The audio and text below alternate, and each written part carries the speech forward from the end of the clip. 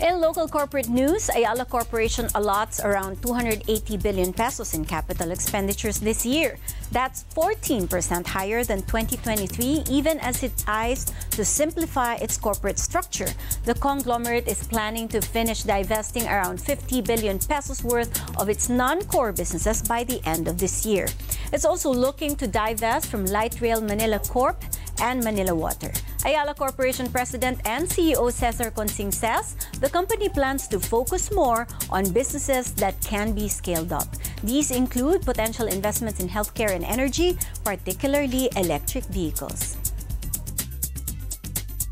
All our businesses review their portfolios on a regular basis. That's that's just par for the course. Um, I think right now that review is probably more rigorous. Um, I think it's, it, it's become quite apparent you could be very, very successful, but if you're too small, uh, should we be devoting capital to it? Should we be devoting management time to it? You can do 100 activities, but if only a dozen of them really move the needle, then guess what? Focus on the, those dozen. Chinese President Xi Jinping says there's a number of issues that Beijing and Washington must resolve to ease the tensions between the two economic powers. He gave those remarks during a meeting with visiting U.S. Secretary of State Antony Blinken. Xi told Blinken the two should be partners, not rivals.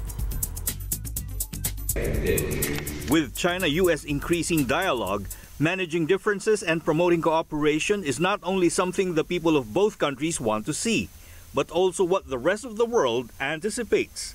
I have said many times, the world is big enough to accommodate both the US and Chinese development. China is happy to see a self-confident, open, prosperous, and developing United States. It is hoped that the US will also take a positive view of Chinese development. Let's check on European markets first. You're seeing gains in afternoon trade with tech and construction stocks leading all sectors in the green. The pan-European benchmark uh, benchmark STOXX 600 on course to snap a three-week losing streak. The cheer comes from U.S. tech giants Microsoft and Alphabet reporting bumper earnings overnight. Taking a look at Wall Street futures, they are also up with the tech-heavy Nasdaq seen to open 1% higher. In focus today, the Fed's closely watched inflation gauge, the PCE price index. Here's some stocks to watch out for. We're monitoring shares of UK tech darling Darktrace after it announced it had agreed a sale to U.S. private equity giant Thoma Bravo for over $5 billion. Shares of the British cybersecurity firm popped 17% on the news. Also in focus, shares of British bank NatWest, whose first quarter profit fell sharply. The stock, however, rose 6% after the lender outperformed expectations in its net interest margin. We're also keeping a close watch on shares of Snap, which delivered a positive revenue forecast for the second quarter. Snap shares are soaring 24% in pre-market trading.